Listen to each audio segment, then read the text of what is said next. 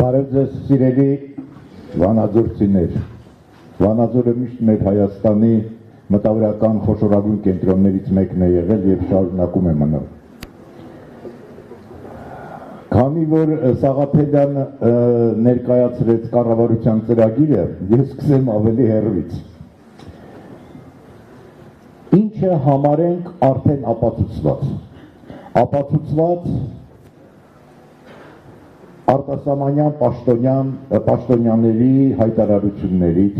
մեր պաշտոնյաների հայտարարություններից այն մարդկանցից, որոնք որ մասնակցել են պատերազմին։ Առաջինը ես համարում եմ այդ ամեն ինչ ապացուցված արդեն։ Պատերազմը կարելի էր կանխել։ Երկրորդը, որ ապացուցված է, պատերազմին, եթե մեր բանակը պատրաստ լիներ այդ ամուր դիրքերը մենք կկարողանայինք պահել։ Հաջորդը Նույնիսկ այդ աննպաստ պայմաններում, եթե հիմար հրամաններ չլինեին, եթե կարգ ու կանոն լիներ, եթե կարողանային ճիշտ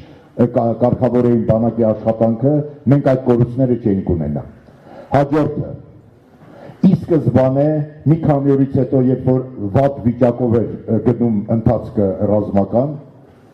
եւ հնարավոր էր եւ պետք էր պատերազմը կանգնացնել։ Առաջարկություններ եղել են եւ մենք պատերազմը կարող էինք կանգնացնել ավելի շուտ, ավելի քիչ կորուստներով ապացուցված եմ համարում, որ Շուշին ոչ թե գրավել են ադրբեջանցիները, այլ տվել են մերոնք։ Դավաճանության պատճառով, թե հիմարության պատճառով դա առանձին հարց է։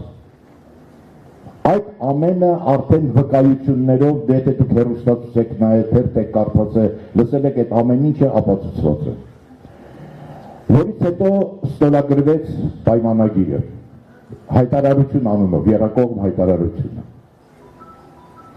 Ես կարծում եմ, որ նույնիսկ այդ վիճակում այդ հայտարարությունը կարող կարող լիներ ավելի բարենպաստ։ Զգացվում է, որ հայկական կողմը ոչ մի քաղաքական բանակցություն առևտուր չի արել այդ փաստաթղթը լավացնել։ Ավելի, մի բան ասեմ, որ արդեն ոչ թե ապացուցված է իմ անձնական կարծիքն է։ Մանրամասն հետևելով ռազմական գործողություններին, Ալիևի հայտարարություններին, պաշտոնական ադրբեջանական պաշտոնական ոչ պաշտոնական լրատվականին ես մի բան կարող եմ տնդել որ ամսի 8-ին եւ 9-ի կողմերը արդեն ադրբեջանական բանակը ինքնել էր ինքնել էր պահանջ ուներ դաթարի զենքը իրանց մոտ շատ էր զինամթերքը շատ էր զինվորներ շատ էին բայց իրանց մոտ էլ կար բավականին մեծ հոգնածություն եւ ներքին չնայած հաղթանակների ներքին դժգոհություն Ադրբեջանի ներսում այսինքն դա այն վիճակներ որ մենք կարող ենք լուրջ առևտուր անենք ու շատ նվաստացուցիչ կետեր այդ երրակող հայտարարության մեջ չէին լինի եղավ այդ երրակողմ հայտարարությունը մի կողմից իհարկե լավ է պատերազմը վերջացած բայց ինք այդ փաստաթուղթը կործանարար խայտարակություններ մեր ժողովրդի, մեր պետության համար։ Մենք կորցրեցինք հազարավոր երիտասարդներ։ Նույնիսկ կարծում եմ ավելի շատ, քան կորցրեցինք հաղթանակ բերելու դեպքում։ Այսինքն մենք պարտության վրա ավելի շատ մարդ կորցրեցինք, քան հաղթանակի համար։ Մենք ունենք հարյուրավոր գերիներ, Ես գիտեմ ինչ է նշանակում գերի լինել Ադրբեջանում։ Սարսափում եմ պատկերացնելով նրանց մի մասի վիճակը։ Միջև հիմա այդ գերության գերությունից ինչ որ մարդիկ չեն կարողացել վերադառնալ։ Մենք կորցրել ենք մեր բանակը, ջարդված է մեր բանակը։ Մնացողներ են մնացել բանակի։ Մենք կորցրել ենք միլիարդ դոլարից ավելի զենք ու զինամթերք, ավել Մենք կորցրել ենք տնտես, մենք ունենք տնտեսական հսկայական կորուստներ։ Ես թվարկել եմ էլի թվարկեմ եւ էլեկտրահոսանքից 100 մեգավատ կորցրել ենք 100 հազար հեկտար վարելահող 15 խոշոր հանք եւ այլն, այսինքն կորցանարար խաղաղության մեջ մենք մտանք։ Ժողովրդի ճնշող մեծամասնությունը այնքան վրթովված եւ ստորացված ստորացված էր իրեն զգում այս վիճակից, որ մի անգամից պահանջում էր պետք է անպայման հեղափոխություն անել, հեղաշրջում անել, մի բան անել, բայց ազատվել ես այդ իշխանությունից։ Բայց կար Բայց կա մեր ժողովրդի մեջ նաև մի հատված, որոնք ասում են հա ճիշտ է։ Ինքը լավ ղեկավար չի։ Ինքը տանուլ տվեց։ Բայց հիմա եկեք արդեն պատերազմը փառք հաստու վերջացել է, ամեն ինչը վերջացել է, եկեք կամած նորից գնանք առաջ, հեսա ճանապարհները կբացվեն, առևտուր կանեն, կգնանք առաջ։ Բայց իրանք չեն զգում, որ նույնիսկ փաստաթուղթը ստորագրելուց հետո մեր պարտությունը շարունակվում է։ Պարտություն համար 1. Արդեն պայմանագրից հետո։ Պայմանագրի առաջի կետում գրած էր, որ մենք հանձնում ենք Քելվաճարը եւ Լաչինը, իսկ մնացած տեղերում զորքը կանգնում է այն տեղում, որտեղ որ կանգնած է։ Մենք Զանգեզուրի դեմ, Սյունիքի դեմ, մեր զորքը կիլոմետրներով առաջ էր կանգնած։ Նիկոլ Փաշինյանի հրամանով զորքը հետ է վերադարձել։ Եվ մենք արդեն խնդրեմ ունենք Սյունիքի սահմանների վրա։ Սահմանները որոշվում են GPS-ով, GPS-ով աշխարհում ոչ միտեղ սահմաններ չեն որոշվում։ Սահմանները որոշվում են եւ մտցվում են GPS-ով, այդ GPS-ից, այդ GPS-ից է սահման որոշում։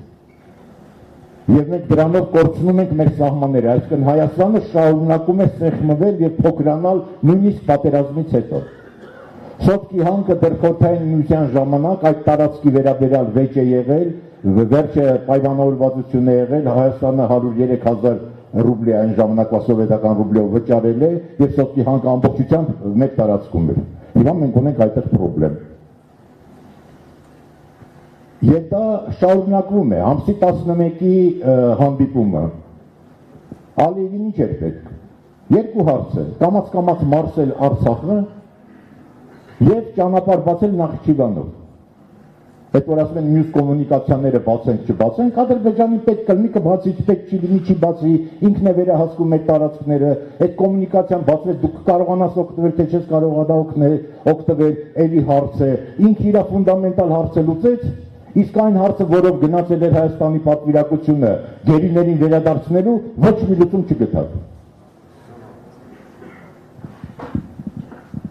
Երեք նայում եմ բան Ալիևը իր տիկնոջ հետ, տիկին Փաշիևի հետ, Փաշիվայի հետ։ Չէ, բայց զարմանալին գիտեք որն է, երբ որ ադրբեջանական մամուլով դատում ես, փաստորեն պատերազմի հրահրողը, ողջևորիչը, ամուսնուն առաջ բրդողը Փաշիվան էր, որը կապված է թուրքական էլիտար բաների հետ։ Մեր մոտ էլ Փաշինյանն էր, երեք տարի տարբերություն եւ ինչ արդյունք։ Իրենք Շուշիում էին եւ այնտեղից Ալիև ասում էր, որ հանդարտ ինչ որ ռևանշիստական հələ փորձեն մի բան անել մեր բռունցքը կանգնած է այստեղ, նույն ժամանակ ես կարծում եմ մեր ոնց է ազգանունը, մեր ազգային ժողովի նախագահի տեղակալին Քայլից Նազարյանը ասում է որ մենք նորմալ հարաբերություն գրեթե ասում եմ մեզ բանակ պետք չի մենք արդեն նորմալ հարաբերություններ ենք ունենալու առևտուր ենք անելու եւ այլն եւ այլն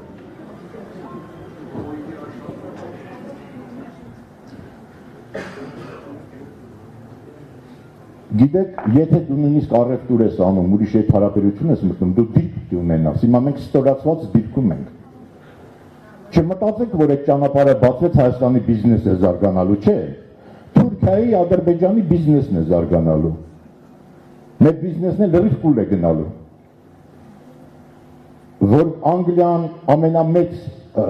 կայսրությունը ստեղծեց, ամենավեծ առևտրական նավատորմը ուներ, բայց որովհետև ինք ուներ ռազմական նավատորմ։ Չի կարող թույլ պետությունը ունենա ուժեղ տնտեսություն։ Ինքը միշտ ստորացած վիճակում է լինելու այդ վիճ այդ վիճակը շարունակվելու հաջորդ քայլը որն է լինելու ադրբեջանցիները համարյա 10 միլիոն են հասնում են անընդհատ նվազում են իրանք աճում են իրանք կամաց կամաց մտնելու են Սյունիք Հայաստան ոնց որ սովետական միության խորհրդային միության ժամանակ էր այսինքն հաջորդ քայլը լինելու է որ իրանք լծվելու են ամբողջ Հայաստանով մենք նվազելու ենք մենք նորից դառնալու ենք բնակավայր եւ ոչ թե պետություն տնտեսությունը լինելու իրանց ձեռքում, իրանք են մտնելու, որովհետև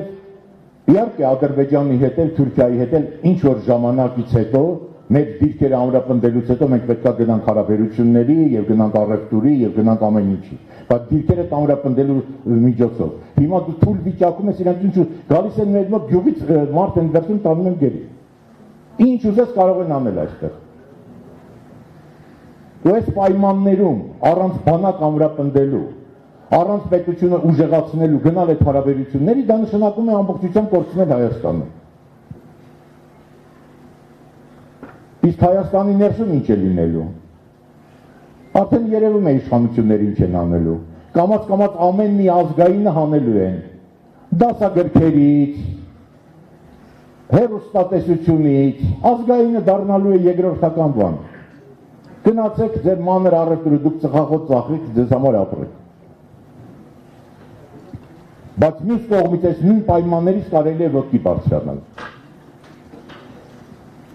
սա իշխան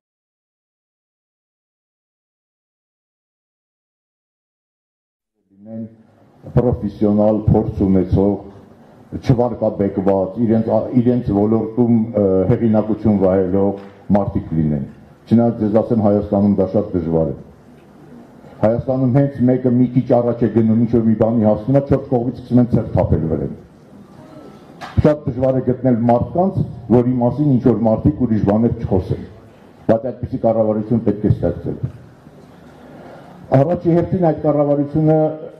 երբեմն հարցնում են եւ ասում են, որ եթե Նիկոլը գնա եւ ուրիշները գան, վերսկսվելու են պատերազմը։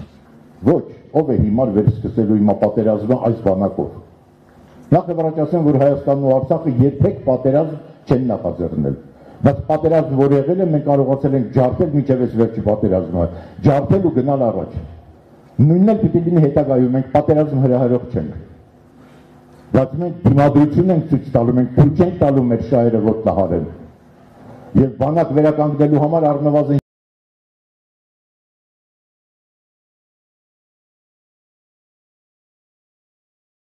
2-3 տարի պետք է եւ այդ արանքում որ որևէ հիմար չկա որ սկսի ռազմական գործողություններ բայց դիմադրություն պետք է ցույց տալ բանակ ունենաս որից վախենան առանց դրա պետություն լինել չի կարող ես չեմ իմանում մի որևիցե թույլ երկիր չպաշտպանված երկիր որի տնտեսությունը հզոր լինի եւ որի ժողովրդի բարեկեցությունը բարձր լինի։ Չկա հզոր պետություն, չկա բարեկեցություն ժողովրդի համար։ Նայեք, ասում են, թե մեզ բանակ գրեթե պետք չի։ Ես վերցնում եմ Եվրոպայի կենտրոնում գտնվում է Շվեյցարիան։ Չեզոք, ոչ մեկ ոչ մեկ չի պատերազմում։ Նույնիսկ երկրորդ համաշխարհային պատերազմին Հիտլերը հրաման չտվեց Շվեյցարիան վերցնելու, որտեղ իր աշահերին պետք է բայց Շվեյցարիայում բոլորը զինապարտ են։ Բանակի վրա տարեկան 5 միլիարդ է ծախսում։ Համարվում է լավագույն բանակներից մեկը։ Ռեզերվիստների մեջ բոլոր կանայք եւ տղամարդիկ են։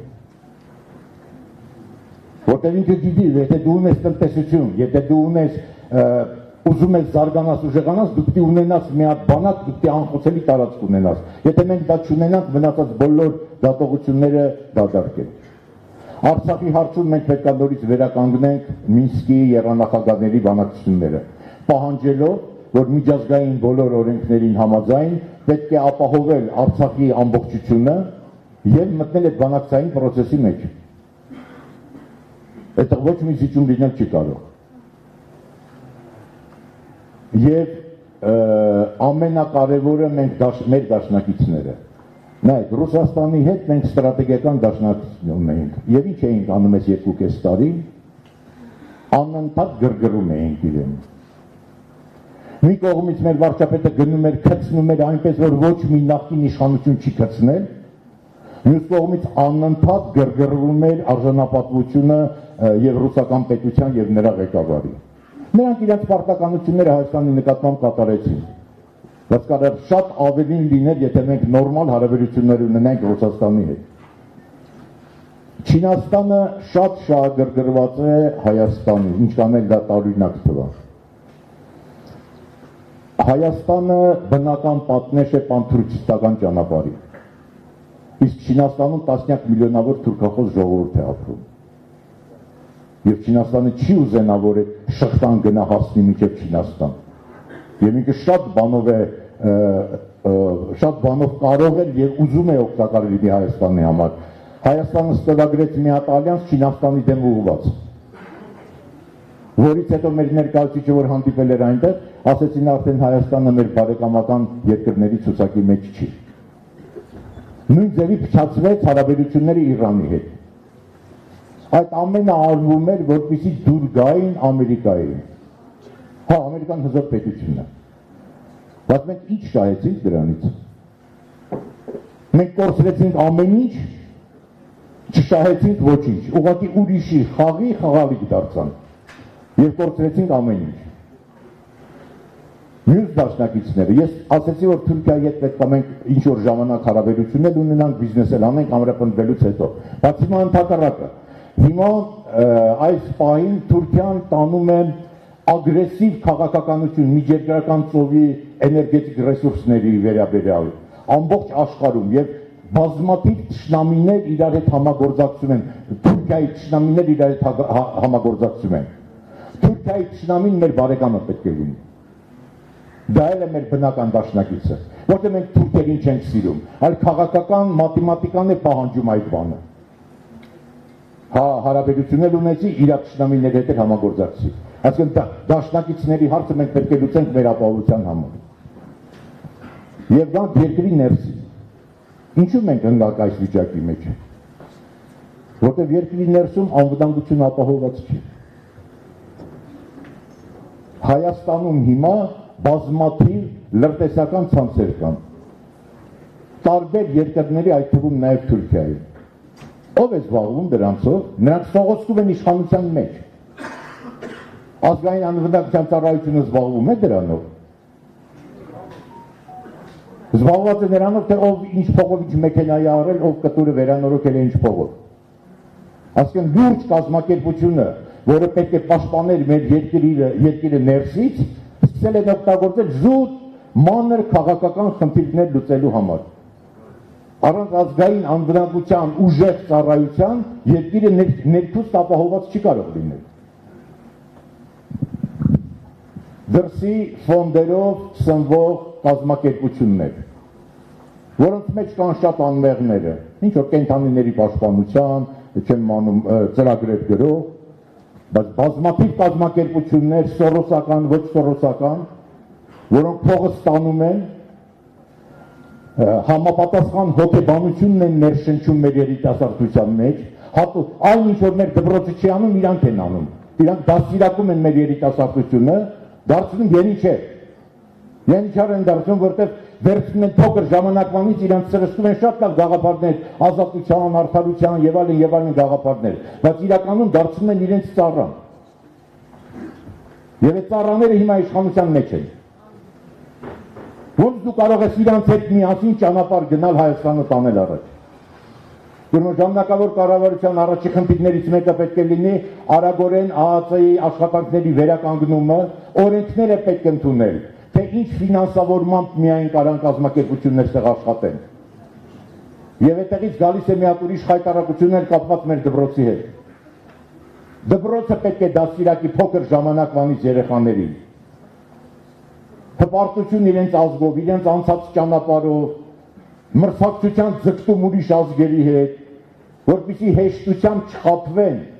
արդարություն, ազատություն, եւ այլն բառերի հետ, որոնք շատ կարևոր բառեր են, բայց այդ բառերով մեր երիտասարդներին խափում են, փչացնում են։ Ու մենք մեծերս թույլ ենք տալիս, որ մեր երեխաների ուղեղները փչացնեն։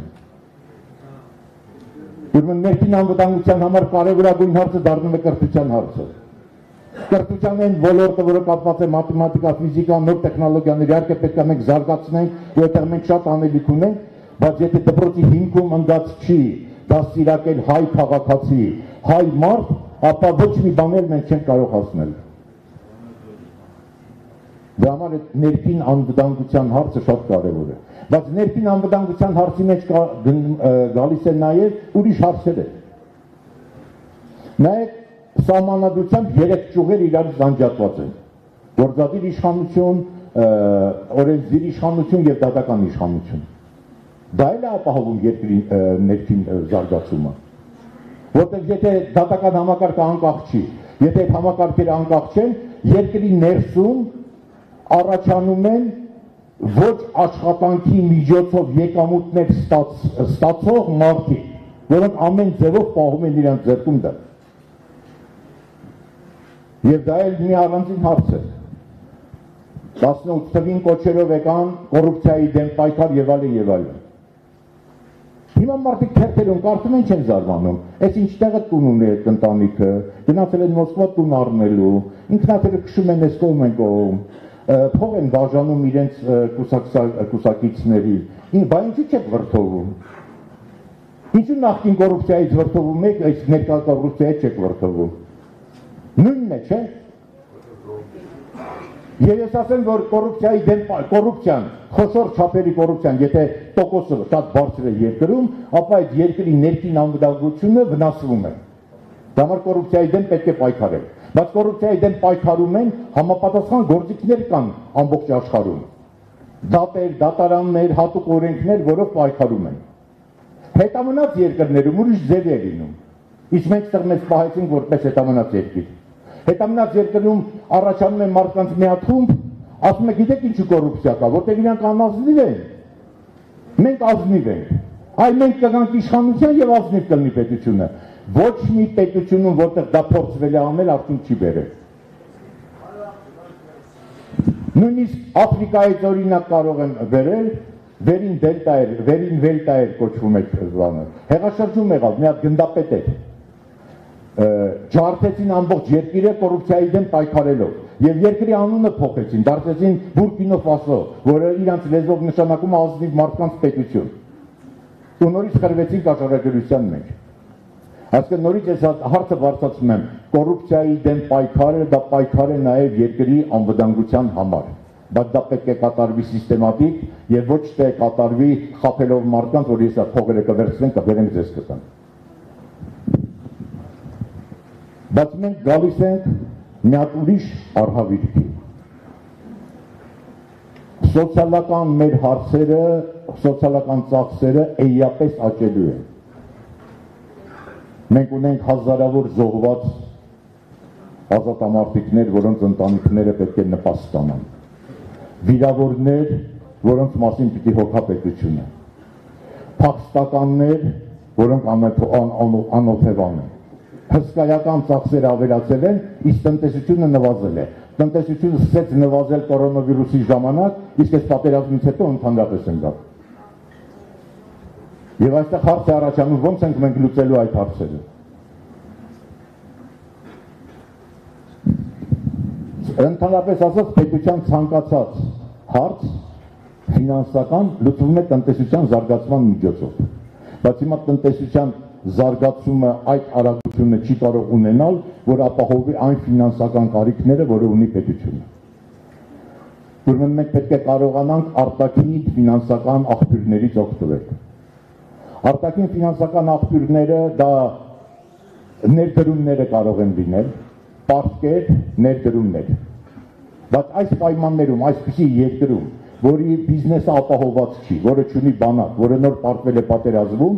Եթե մի հատ մասնավոր բիզնեսմեն դրսում գումար է ուզում աշխատել, Հայաստանը իր համար անվստահելի տեղ է։ Մի հատ բիզնեսմենները, որոնք կարող են ռիսկ անել ու մտնել Հայաստան իրենց գումարներով, դրանք մեր հայկական ծագում ունեցող բիզնեսմեններ են, որոնք որ բացի բիզնեսից, որից մեջ կան նաև հայրենասիրություն եւ իրանք պատրաստ են ինչ-որ մի բան կորցնել, բայց ավելի ապագայում շահելու համար եւ ժողովրդին օգնելու համար այս իշխանության օրոք ոչ մի սփյուռքահայ, ոչ մի Ռուսաստանի հայ, ոչ մի կոպեկ փող այստեղ չի ներդնի։ Նույնիսկ սփյուռքահայության հավաքած են հիմնադրամը 120 միլիոն վերցեցին մտցրել բյուջե, որտեղ բյուջեն իրանց գրվանի փողն է, ոնց ուզում են ծախսում են։ Ոչ մի վերահսկողություն չկա։ Ուրեմն իշխանությունը պետք է փոխել նաև տարբեր պատճառներով, որ եւ հիմար են, եւ չեն կարողանում կառավարել, եւ դավաճանում են, եւ ստացել են այն արդյունքները, որի համար իրենց դատ է ասում, բայց նաև նրա համար, որ այն անվստահությունը, որը կա իշխանությունների նկատմամբ, արգելելու է ֆինանսներ մտցնել Հայաստան։ Նույնիսկ եթե արտաքին ֆինանսական դոնորները գումարներ մտցնեն, ապա հսկայական տոկոս են վերցնելու։ Իսկ դա նշանակում մենք հիմա փող կվերցնենք հարցերը լուծելու համար, բայց պատասխանը տալու են մեր երեխաները։ Հայաստանում կան օրենքներ, որոնք միանգամից որոնցից պետք է ազատվել, որտեղ նրանք խանգարում են բիզնեսի մտնելը Հայաստան։ Դա բանկային գաղտնիքի հարցն է, գույքահարկի բանի բարձրացումը խփում է եւ ներքին գործարարներին եւ դրսից եկածներին եւ այլն եւ այլն այսինքն հարցերը այդպեսին են. Մենք հույս ունենք ոտքի կանգնելու Մենք որտեղ հույս ունենք, մենք ճանապարհ ունենք։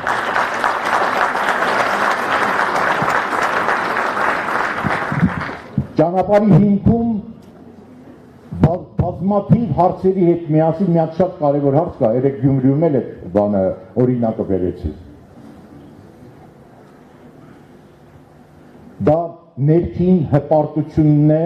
պատկանելությունը իմ պետության քաղաքացին են, իմ ազգին են պատկանում, մենք հզոր ենք, մենք կհաղթենք, եթե այդպիսի զգացմունքներ մարդկանց մոտ չկան, ոչ մի բանը չի զարգանա։ Այդ երեկվա բերած օրինակը բերեմ։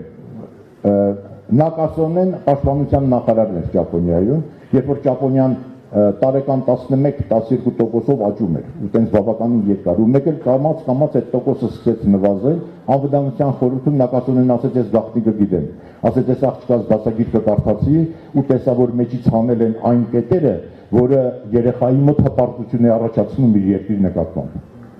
Այսինքն դասագրքեր եւ տնտեսական աճ։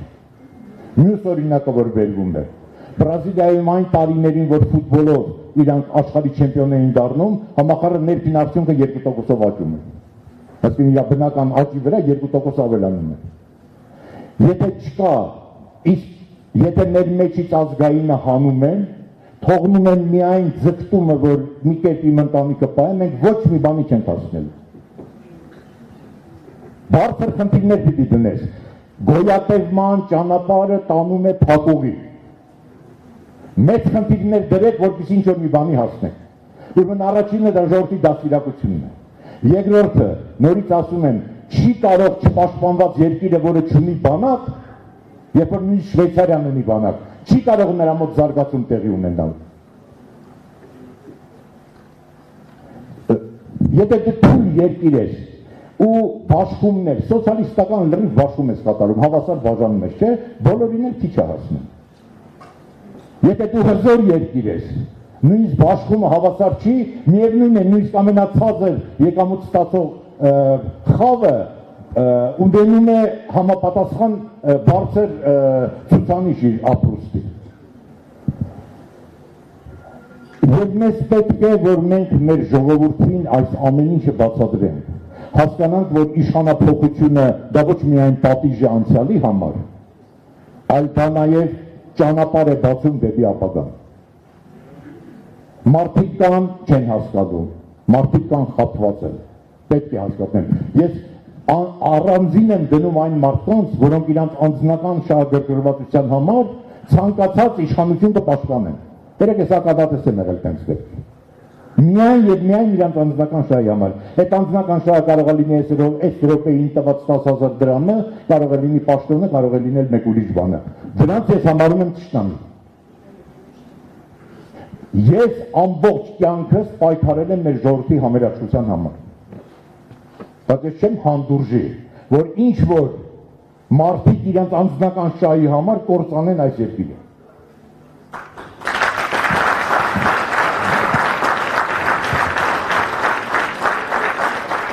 Եթե այս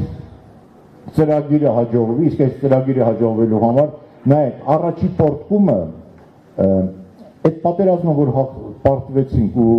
այդ առաջի օրերը ինձ թվում էր որ ամբողջ ժողովուրդը ոտի կբարձրանա միլիոն մարդ դուրս կգա մի անգամից իշխանությունը կփոխվի մի հատ նոր իշխանություն կառաջանա կգնանք առաջվան այդպես տեղի չունեցավ հետո ես նոր հասկացա որ դա մեր ժողովրդին մեղադրելի չի Մարդիկ շատ ընկճված էին։ Տասնյակ հազարավոր ընտանիքներ կորուստներում էին։ Անհայտ կորածներ, գերիներ, զոհեր, մարդիկ շոկի մեջ են։ Մարդկանց գիտեն, որ շեն այնպեսի շոկի մեջ են, որ տնից չեն չեն ուզում դուրս գալ։ Այս վիճակում ավելի մեծ խնդիր է դրվում այն մարդկանց առջև, ովքեր որ պետք է այս գործը անեն։ Եվ մենք չենք զլանա, մենք ամեն տեղ էլ կգնանք, մենք մարդկանց կբացատրենք, մենք ոտքի կկանգնացնենք, որտեղ իշխանությունը պետք է փոխի ժողովուրդը։ Ոչ թե հերոսների մի 3-4 հոգանոց խումբ մտնի իշխանություն փոխի։ Դրանից երկիրը օգուտ չունի իշխանությունը պետք է փոխվի ժողովրդի միջոցով։ Եվ այդ ժողովուրդը պետք է ոտի կանգնի։ Հիմա մի հատ կեղծ գաղափար են մցրել։ Արտահերտ ընդրություններ Նիկոլ Փաշինյանի վարչապետ եղած ժամանակ։ Դա նշանակում է ուղղակի վերարտադրել իշխանությունը։ Դա նոր խապկանք Եվ մեկ էլ հիշեք, Նիկոլ Փաշինյանը մենակ չի։ Ինք ունի թիմ դա իմ քայլը չի։ Դա մի 20 հոգանոց, մի 20 հոգի մոտավորապես մարդիկ են, որոնք մի զգալի մասը տարբեր երկրների լրտեսներ են, որոնք իրականացնում են դրսի ծրագրեր, որոնց գաղափարները հարիր չեն մեր ժողովրդին,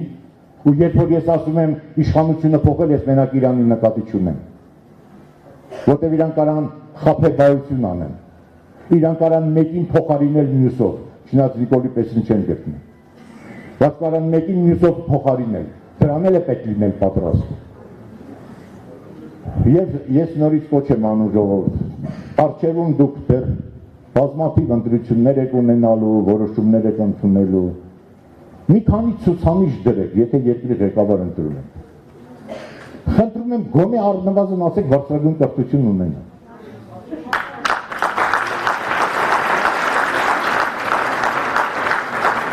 Այդ մարդուն պատահական մարդուն չեն ընտրում։ Ինքը պետք է միջև ինչ որտեղ աշխատած լինի։